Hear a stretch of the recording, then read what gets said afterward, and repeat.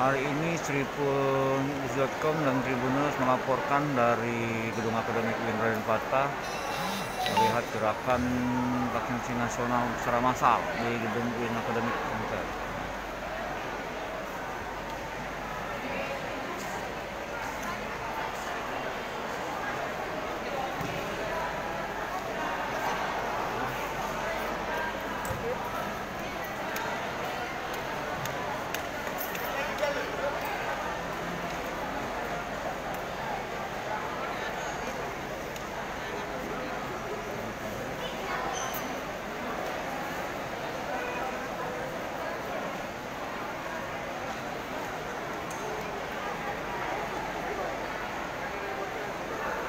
Lebih dari seribu mahasiswa mengikuti vaksinasi massal di Gedung UIN Kabupaten Palembang. Lapangan pasir ini sendiri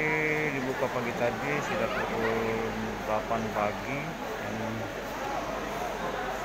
dibuka oleh rektor